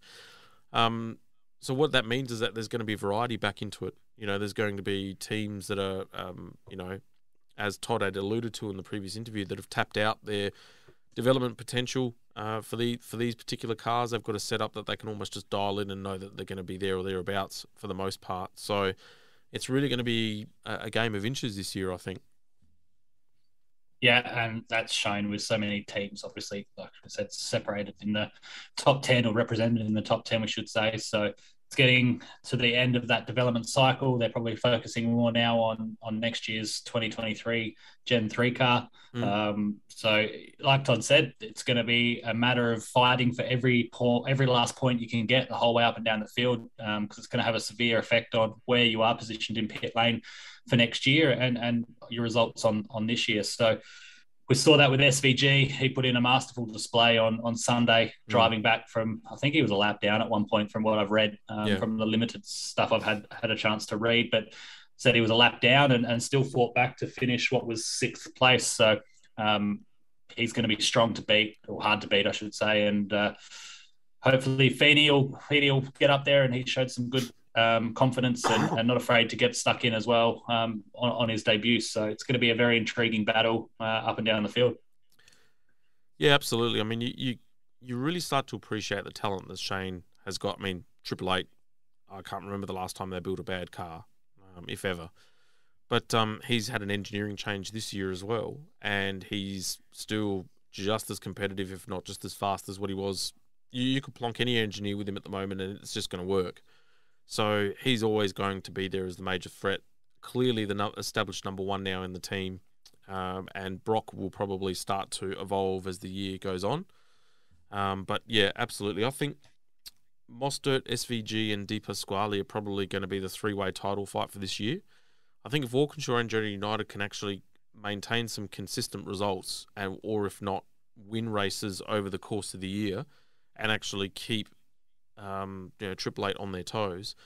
By the time that um, you know they get to Bathurst, which is the key championship race as it always has been, they might be in with a real shot. I don't disagree at all. They've got a lot of uh, a lot of resurgence in that team. Um, they've started really picking their picking their form up, and uh, yeah, I think they're probably the most likely at the moment to take it to to Triple Eight uh, with Shell V Power probably third, and then Erebus uh, sitting there in the fourth place. Tickford have got some work to do, but they're surely going to bounce back, um, you know, and get more cars inside the top ten. Well, they got double pole in Tasmania last year, so but they just couldn't uh, equate that into results because of tire life. Now, whether that's actually changed through setup and, and how they've evolved that over the over the last twelve months, it's going to be interesting to see what what that translates to. But I think if um, Erebus will certainly play a massive, massive role now, and they're going to be another contender, another maybe a thorn uh, in the side of a few teams. But then you'll probably get some surprise packs. I mean, um, you know, MSR showed some pace, but even Winterbottom in the in the uh, in the Team 18 car was you know in the dry when it was all said and done, especially in, in qualifying and stuff like that. They were quick. So um, and so was Scott Pye in the other yeah. Team 18 car. Yeah. You know, despite power steering trouble. If he didn't have them, he would have been on for probably two solid top ten results as well. Hundred percent. But mate, I've Black Cat. I mean, how many times has he had power steering issues in the last sort of two or three meets? And they've gotten on top yeah. of it apparently, and they have stripped the problem, but it just keeps happening, and it's yeah, it's frustrating. But you you kind of start to feel sorry for the team, uh, and even for Scott because they work really hard behind the scenes, and it's just you know you know when your luck's not there, it's just not there sometimes, no matter what you do.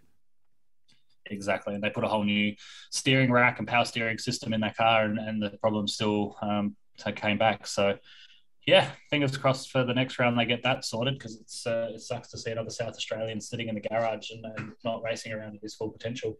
Yeah, hundred percent. Speaking on Gen three, before we go to a break, they um, they were meant to do some cars um, to do some laps around cars at the moment, and uh, like to do some more development demonstration runs but the drivers have actually been complaining about the ergonomic fit of the car. So they've been complaining about cramping, they've been complaining about visibility. So V8 supercars have had to um, remove the cars from demonstration runs and actually reconfigure the chassis and redesign the chassis to accommodate um, the, I suppose, the tallest drivers, so uh, Van Gisbergen slash Percat, and also the shortest drivers as well, to make sure that there's a fine balance and enough ergonomic movement for them to actually feel comfortable in the car. So I think um, what this proves what this proves is that by not rushing the development and not getting the cars out on track halfway through this year, to take that year off and then delay it for next year, I think proven to be a good move. Yeah, but yeah, they've had having the same drama over here in NASCAR at the moment as well. Lots of uh, new, they've had a new chassis here for NASCAR, and there's lots of drivers that are having the same thing, um, getting pins and needles in their legs and losing feeling in their in their legs. So definitely something to look at. Uh, hopefully, supercars can get on top of it and get these drivers comfortable because um, yeah. it's the last thing you need is a dead leg when you're trying to put a hundred kilo into the brake pedal. Yeah, hundred percent, hundred percent. So we'll have to fill it, fill us in on NASCAR maybe maybe later in the show just to see what the vibes like up there because um, I'm I'm assuming it's quite big. Yeah, yeah. Unfortunately, I won't be here for the NASCAR round, and I missed out on going to Daytona, which was the weekend that I arrived. But uh, everyone talks about it definitely on a on a Monday morning in the office at work. So it's um it's quite big, along with the IndyCar, and you know it's on the TV. Um, as I'm speaking, I've got the Xfinity race on in the background, and yeah, it's it's all the support categories are on, so they do a good coverage of it. It's it's as big as the supercars. Um, back home, you know, your, your practice and, and qualifying's all streamed live and, and broadcast with the, the full pre-race stuff. So it's been good to see another aspect of that. Yeah, no, they do a good job over there in terms of the broadcast, that's for sure. Speaking of good job, we have done our uh, segment on supercars. We will come back and talk MotoGP.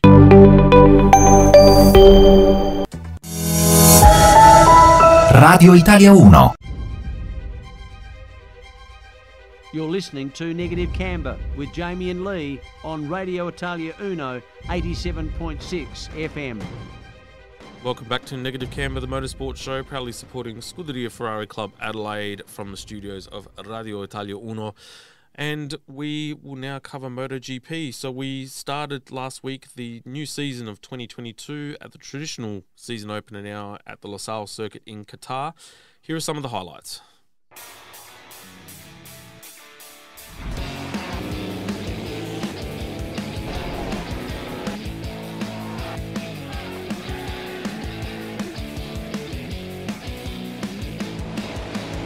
It's lights out and lift off for MotoGP in 2022 in Qatar. Not a bad start for the poleman Jorge Martin, although big, big moment. The two Repsol Honda's got away brilliantly.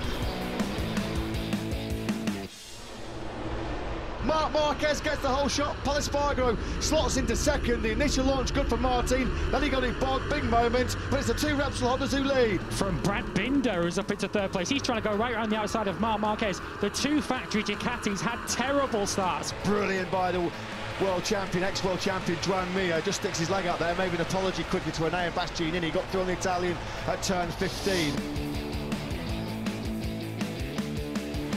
Then it's Mir Aleix Espargaro trying to get on in this podium battle as well on the factory of Aprilia.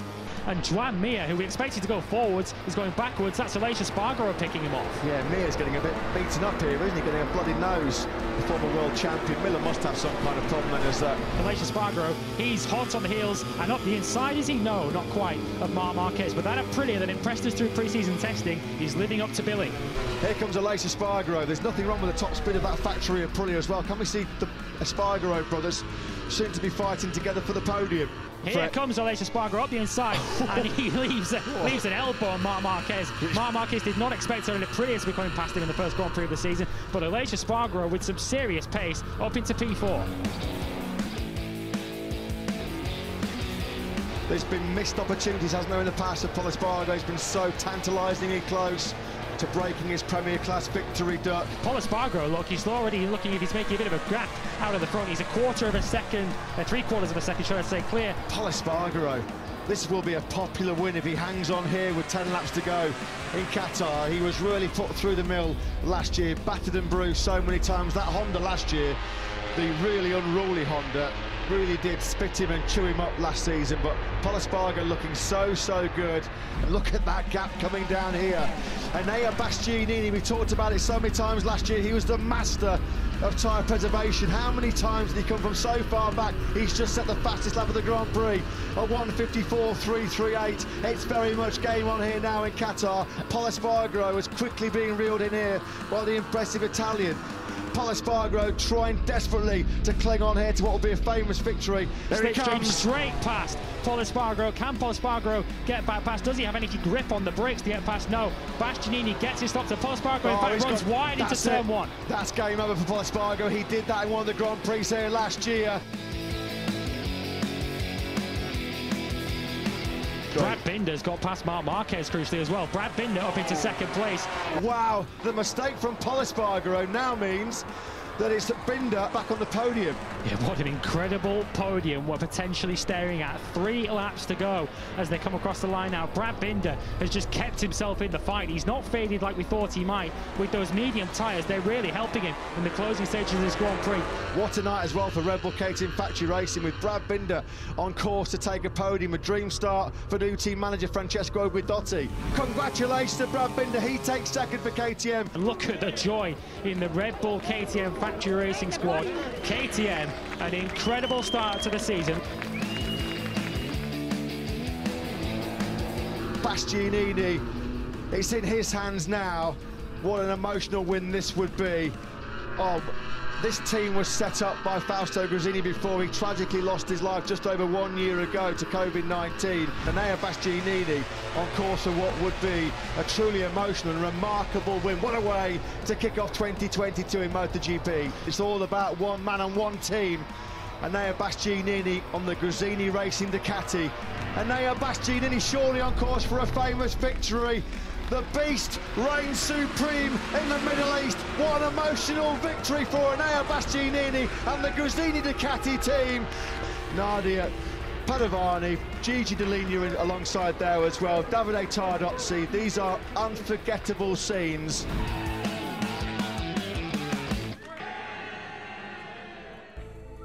What an opener. What an absolute cracking race that was. And uh, we'll run through the top 10. We had uh, Bastianini finishing first. We had Brad Binder second. Pol Espargaro third. Aleix Espargaro fourth. Marc Marquez fifth. Joan Mir in sixth. Alex Rins in seventh. Johann Zarco in eighth. Fabio Quartararo a distant ninth. And Taka Nakagami rounding up the top 10. Remy Gardner fought through from the rear of the grid to lock in the final championship point in 15th. And we had Jack Miller with a DNF, Pecco Bagnaia DNF, and Jorge Martin uh, uh, DNF as well, which meant disaster for the factory Ducati team. And then their previous bike, which was a year old, ended up winning the race.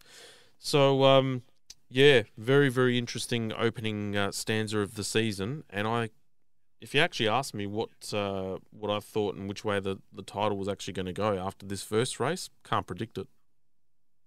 Yeah, it seems that way. There's a lot of uh, a lot of questions, and um, shame for Ducati. Seems like they spent a lot of time um, making changes to the bike and that sent them down the wrong sort of path. Uh, Miller obviously having problems with his ECU, and and Bagnaia getting crashed crashed out of the race, and uh, yeah, it's uh, sad for the Ducati, but how good was Remy Gardner's debut, getting the last championship point, beat his teammate.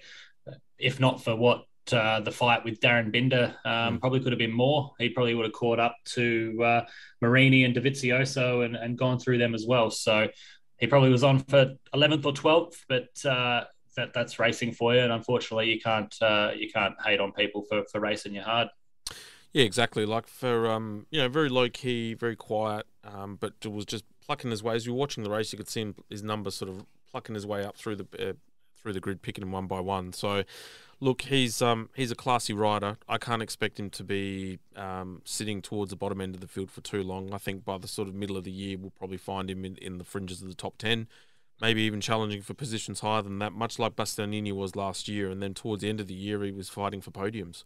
He was dragging the bike along. And you look so- at exactly, and you look at Binder. Binder's up there on, on one of the you know pretty much the same bike, um, running second this weekend. So at least he's got that person in there that they can share data with, and and then and Gardner can have a look at it and improve, and he knows that the pace in the bike is there. So definitely some some positives to come out of the weekend for him, and he'll come back even stronger at the next round. Yeah, one of the other takeaways for me was the struggle that Yamaha had. I mean, Quartararo was just nowhere in terms of pace for you know a substantial, well, pretty much the whole weekend. Um, and Yamaha have taken a massive backward step. Either that, or the other teams have taken a quantum leap in terms of performance. I think they both um, they missed it just this weekend. You know, night race, it's hard to hard to get your setups exactly on point. Suzuki had the same thing. They lost rear grip from from what I've been hearing, and um, the Yamaha was on the on the converse. It was the front grip that they were struggling with. So. Yeah, if the weather changes or the wind changes directions, this, the track can become dusty and dirty over there and you're not expecting it. And there was a lot of mistakes and riders falling off as well. So I wouldn't be surprised if some of the weather conditions played a part in their um, their struggles. But looking to see what the answers they've got, um, Quartararo was saying that they're a little bit lost and, and don't really understand what happened, but and, and they don't have the answers. But um, I think he's being a little bit coy, and they'll come back at Mandalika and, and have a good good weekend. Yeah, well, this is going to be a bit of a test for him because I mean, Yamaha was arguably the bike to have over the last couple of years for the most part. Um, and he was, you know, clearly the the rider to beat in terms of his consistency and stuff as well. So it's going to be interesting to see how he now has that development challenge on him in terms of how he can um, get the team, put him on his back, but also get the bike to actually go fast. So, um, you know, we've seen in the past Marc Marquez struggle to do that. If the bike is not set up exactly the way he wants it to be, he's pretty much riding it off left, right, and center and that's actually prompted Honda to do a complete redesign of their bike this year, like completely different philosophy from the exhaust pipes and where they're coming out all the way through to the front end and the fairing design as well. So um, they had a good start. Pol Espargaro was was probably arguably more competitive out, out of the two, um, but um, at least Marc didn't bin it like he has done in the past. He did in the warm up though, and that probably played a part into his confidence in the in the race. Um, he said he was not really having a comfortable feeling with the bike, and um, he was he was riding a bit reserved due to the the crash that he had in uh, in the warm up on Sunday morning. So, mm. yeah, like you know, you were saying Quartararo's got to do the the team on the back thing, and I think Marquez has got to do it with Honda as well. Otherwise, he's going to find himself struggling um, to overcome his teammate and, and Polo. Pol will have the confidence and he'll get the momentum and, and he'll run if he's fighting for podiums. He could be a contender to watch out for um, come the end of the championship. Mm. My uh, well, one of my favourite riders at the moment is uh, Jorge Martin. He's um, he's proving to be um, you know on a on a customer bike, even though it's equivalent to what the factory team have got this year. Um, had he not been taken out by Bagnaia, he probably wouldn't have won the race. I would suggest because he was behind Bastianini at the time, but he certainly would have figured in podium. Um, I think he will probably show um, Zarco a clean pair of heels this year, at least in pace.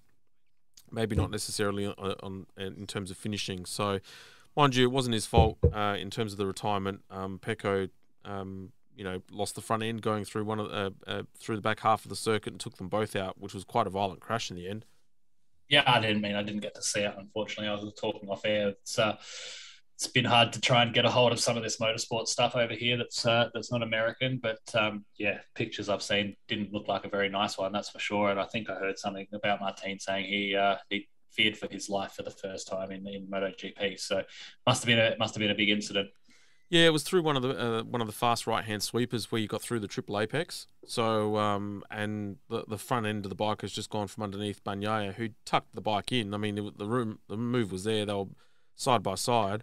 But um, you know, um, Martin had no chance. As soon as uh, um, has lost the front end, it's just gone whoosh, straight and swept him across, and they've gone skiddling off into the into the gravel trap. But it was this that, you know how you get the riders that fall off, and you've got that that speed momentum, and they just roll and roll and roll and roll. Yeah. Well, yeah, Martin, Martin kept rolling until nearly the tire barriers, so he, he was like a he was like a, a bowling alley, uh, more or less, and, and skittled just boom, away he went. So yeah, right. Yeah, big high speed part of the track, so he's carried all that momentum across. Yeah, exactly. Suzuki, I think, are actually the results don't show the progress that they've made they've made with the bike in terms of changes, but also speed as well. Um, when they were going down the main front straight, which has normally been Ducati domain, um, they were more than holding their own. Um, the, one of the things that I noticed this year in terms of straight line speed was the Ducatis didn't have the straight line speed advantage that they had in the past. So yeah, no, they uh, Suzuki's were second fastest bike. They were you know second to the Ducatis but only by 0.2 of a kilometer an hour. So Suzuki have definitely done their homework in in some straight line speed between the test um, and and now. Um, so yeah, but like you said, they've got a few things that they've got to find, um, and I think they will find them. I think they just you know dialed the setup in the wrong wrong window for for the nighttime race, but they've made a big leap and bound for sure. Mm. Ducati factory team double DNF disaster, um, but very very separate problems. So Jack was electronics from what we what we've heard, and that was very early in the race. And Bagnaia, of course, was losing the front end, um, which which can happen at any time, but it has happened in particular with Ducatis. It happens more often than not. Like if you're going to have an accident, it's always going to be the front end going in from underneath you. Um, but they also didn't get off the line very well as well. So whereas last year their launch control was just amazing. Like I'll never forget last year's first race. You had all of the Ducatis up at the front by the time they got into the first corner. So this is make or break for Jack. They, um, you know, but Ducati got to put their hand up too and say, look, yeah, okay, uh, you know, their fault more or less, culpa mia. But um, yeah, they can't. If Jack's um, especially because this is contract year for Jack. So if he's got ambitions of hanging on and and um, excelling and at least getting a renewal, because you've got Jorge Martin waiting in the wings, then um, they he he's got to be on on song from pretty much moving forward round two onwards. You can't afford to make, make mistakes.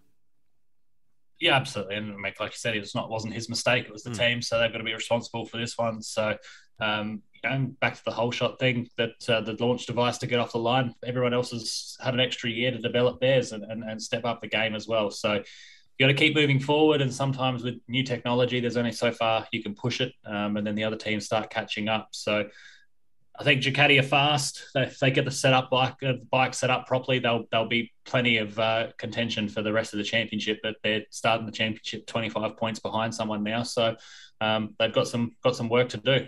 Yeah, absolutely. Speaking of, uh, we will come back from a break and we will review the Formula One shortly.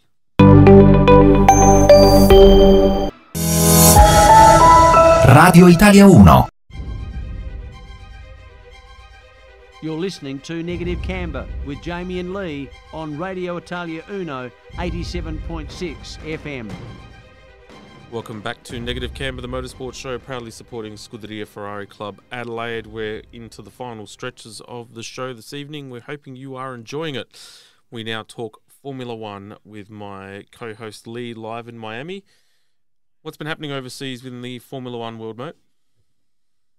Yeah, well, obviously the, the teams have been in Bahrain this week for, for testing, final three days of testing, while um, getting ready for the, the season proper to start next weekend. And yeah, I guess it's been um, punctuated by the sacking of Nikita Mazepin after all of the um, stuff happening with with the Ukraine and Russia and the banning of the Russian Federation and the surprise return of of Kevin Magnussen, who only one year ago said, or less than a year ago, said he was uh, not going to ever return to Formula One with a midfield team, but yet here we are when when a team approaches you that is offering you a Formula One seat, all of a sudden that sentiment disappears very very quickly. But um, do you feel sorry for Nikita? Do you honestly do you think that he's just? I think he's more or less been a victim of circumstance. I mean, he can't help the fact that what's going on there overseas. I think it's a bit bit rough.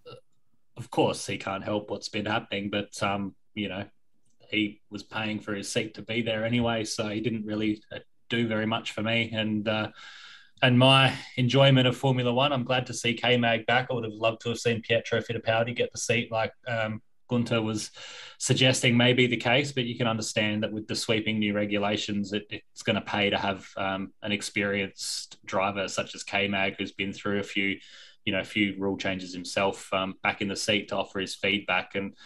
They're, they're, they're, showing some good pace. They've had an hmm. extra mm. um, an extra few hours tonight of testing um, because their freight was late uh, due to something from that Formula One couldn't help. Um, so, yeah, uh, not not a bad showing from Haas so far, and and mm. it's uh, the, the, testing has really thrown a few surprises up um, with how close it's going to be.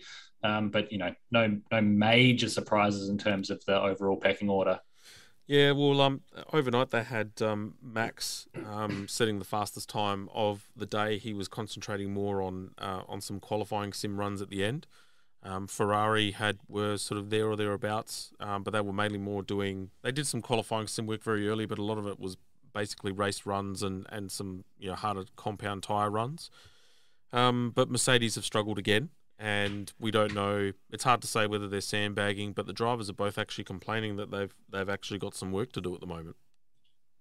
Yeah, that's right. They um, brought that uh, radical new side pod um, or lack of side pod uh, upgrade to Bahrain, and I guess time will tell if it's the right answer. Uh, like you said, there's no guarantee that what's being said in the media and what the lap times are on the charts are, are the right thing. It's it's common practice, I suppose, is is the right word for them to throw each other off their scent. And just because the drivers are saying that uh, the car's not fast, I would take that with a grain of salt. But um, yeah, the, the side pod the side pod upgrade that they brought to to Bahrain looks cool. Really, really sleek and narrow with some mm. you know small openings on the front of it to to force air quickly into the radiator and then fast out the back end of it and across across the top of the floor to help generate some downforce that way. And Red Bull then followed theirs up with flying in a, a, an upgrade overnight last night for today's testing that does relatively the same thing a smaller smaller side pod with a bigger um, a bigger accenture underneath the inlet, which is forcing air onto the side pod and sucking the car to the ground really, really well. So, um, look, Max was on a softer tyre than than when Leclerc set his lap. Uh, better track conditions as well. So, everything to be taken with a grain of salt. But Verstappen looks fast. Red Bull looked fast. Ferrari looked fast. McLaren had their dramas with brake overheating, and, and they've got some work to do this week before round one. But um, when they are on the track, they look good, mm. uh, and, and I reckon you can't count Mercedes out for sure. Absolutely, Daniel Daniel Ricciardo overnight was uh, done for for COVID nineteen, I believe, um, and there, there's talk. Yeah, he's uh, come down sick. Yeah, there's talk that Oscar Piastri might take his spot. Renault are going to, or Alpine are going to uh, look like they're going to lend uh, Piastri a, a, seat in the McLaren team just to cover for, for Danny Ric for this particular race, which is amazing. Yeah, it'll be a good chance for Oscar to get some Formula One race time if that is what comes comes to fruition. They're 99% sure that Danny Ric will, will recover. He was feeling unwell um, before the test even started, um, but made his way to, uh, was returning negative tests, so he's made his way to Bahrain anyway. Um, didn't feel good enough. They thought it was food poisoning, didn't feel good enough to drive uh, on the first day, sat the second day out, and that's when he returned his positive um, test for COVID. So, under the protocols, he should be clear and, and ready to take part in the racing. But uh, McLaren have got uh, access to a few good drivers. They've got Stoffel Vandoorne and Nick de Vries in the wings as well as. Um, uh, as Oscar, Oscar's probably the most logical choice being the person who's probably done the most laps in a Formula One car recently. Mm. Um, but yeah, I don't doubt that uh, if Ricciardo's already feeling better, like he says he is, and he's already done you know a few days of his COVID uh, isolation, I, I, dare say he'll be back in time to for race day. Well, the season starts this coming weekend. Um, well, on the March 19, March 20. Uh, so it's going to be that's where all the uh, all the innuendo and, and the uh, and the garbage stops and the real stuff happens. So I'm really looking forward to seeing how this all pans out and what the first race of uh, under the new generation is actually going to be like. Yeah, and it seems the guys have done some, you know, pretty serious race practice, I suppose you can call it, during practice where they've tried following each other. Mm. And it does seem as though the, the cars can follow each other closely. So slipstream is less important and I think is going to be less of, a, of an overpowering factor. So it's going to be all about trying to stay within sort of half a second of the car in front of you because anything between half a second and a second is where you start to hurt your hurt your tires and, and, and anything inside of half a second your tires are seeming to hang on pretty well. So they should be able to follow closer, um, which will mean better racing and, and, and more overtaking, hopefully. Mm. Uh, and, and that's sort of what's been seen so far in the testing phases um, over the last few days. Well, by the time the show goes to air and then we go back onto our next show, we'll probably review the event. But it's probably a good segue to um, put some tips in. And you normally your crystal ball was actually quite reliable last year. where you'd call some, at the time, seemingly outrageous uh, results, only for them to come to fruition. So uh, our man in, in Miami, the man with the golden tan, what uh, what are you going to be prophesizing in terms of results for this meet? I was asked the same question today uh, by a couple of guys that we were at work with, and um, I said Sainz. Sainz will be is my pick. Um, yes. So he's from what I've seen, he seems really comfortable. It's um, it's it's they've got the, the car seems really good. Um, podium for this weekend, I think. Uh, I think I'm looking at Sainz Verstappen, possibly Leclerc up there as well. So Sainz Verstappen, Leclerc, Russell. It's going to be in that four four drivers, and then I think uh, Hamilton, Norris, and Ricciardo will be uh, on the and, and Perez will be on the on the back of that as well, factoring in. So I think the midfield battle, Haas Haas are in there in the midfield battle. Um, I'm going to bring that out now and, and, and, put that out on the table. And then I think Alfa Romeo are in there as well. So mm. I think that that battle between the the next six teams after the, the top four teams is actually going to be really tight and intense. And I think even Williams are in with a chance this year as well. It seems like everyone's brought some good cars to the table. But uh, like you said, qualifying is when we'll really find out who's who in the zoo. Mm. Mate, the uh, the Revhead Harry, um, the, the Revhead Harry Facebook page has probably just escalated in hundreds of likes by the Italian community because you've put the man, the goat. Well, no, he's not the goat. He's the current goat in my eyes, anyway. Mr. Carlos Sainz as the number one for uh, for Bahrain, and you know what? I'm going to go with you on that one. I think Ferrari are, um, are have created this year a superb car, and uh, I mean we'll, we'll find out for sure in qualifying. But I think they've they've kept their cards very close to their chest, and they've made some massive strides, both in engine as well as performance as well. So um, yeah, I'll uh, I'll back you on that one. I think um, um, CS fifty five is uh, is going to take the top spot. Yeah, I think, like I said, he's my pick for the championship. Um, I think they've done a good job with their car, and, and I don't think they've showed their their true true pace. But no, no, no neither neither of any of the other teams. But uh, the tire choices from Ferrari have been very, very select, and they've never gone out really on the on the full soft tire. Mm. Um, so they're in with a de- decent shot, that's for sure. So you just said championship. Carlos Sainz. Yeah, yeah. No, Sainz is uh, is my pick for the championship. If I had some oh. uh, some extra disposable income, I'd be you know gamble responsibly on my way to the TAB and uh, putting a cheeky tenner on him or, or so. My God, mate, you you've seriously warmed the cockles of my heart with that prediction. Um, I've watched six days of testing, mate. So, oh, mate, this is fantastic. Yep, that's it. Q in the rack. Leigh's pick, pick Carlos Sainz, and I'm going to go with it. I, I, think Ferrari will be very, very competitive this year. I think I might uh, be a little bit more reserved in my uh, in my estimations as to who's going to win the event. Um, in term, well, not necessarily the race, but the championship. That's for sure. But um, we will do a comprehensive review on, on our next show. So. Um, before we end the show tonight, I hear you've got another joke in store. I'm oh, really yes. not looking forward to this, but um, I hear you've got a joke in store for us all again. It actually proved quite popular. I had a few people approach me about it and actually got a bit of a tickle out of it. So uh, it's back. It's Jamie's jokes.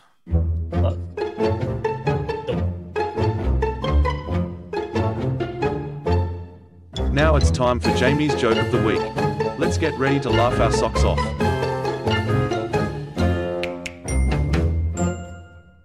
I love that theme, Ron. That's that's magnificent, fantastic. So, so Mr. Leigh, two pickles fell out of a jar and onto the floor. What did one say to the other? Deal with it.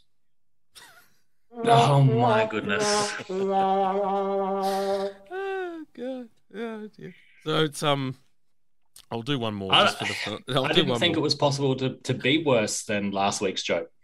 But two jokes. You think you think the public are ready for two jokes? Yes. So, for the kids at home, why can't Elsa from Frozen have a balloon? Because she will let it go, let it go. and there we go. If it couldn't have been worse having two jokes. This one involved you singing. Oh man, I didn't even try. That's the best part. I didn't try singing. If I did, then we'd probably have no show left. Mind you, with these two jokes, I probably still won't have any shirt It's- It's night time for me, and I'm about to go to bed and have Uh, nightmares. Uh, speaking of uh, night time, good night, princess. It's been great seeing you. Uh, enjoy the enjoy the uh, enjoy the next couple of weeks in Miami, mate. We'll be in touch clearly. Uh, we hope you enjoyed the show, jokes included, and uh, we will be back in a fortnight's time to cover the Formula One, probably another MotoGP race. Uh, whether I'm still involved in karting South Australia at all by the end of the uh, by the end of the episode as well. But uh, we hope you enjoy the show, and uh, we'll be back in a fortnight's time. Good night. Love this podcast? Support it and sponsor today. Simply head to AuscastNetwork.com for details.